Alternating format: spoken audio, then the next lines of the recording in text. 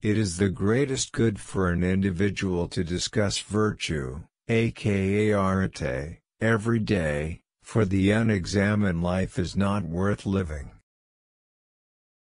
All of the wisdom of this world is but a tiny raft upon which we must set sail when we leave this earth.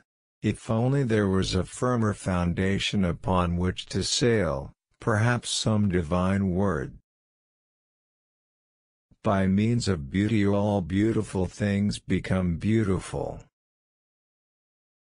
A man should inure himself to voluntary labor and not give up to indulgence and pleasure, as they beget no good constitution of body nor knowledge of mind.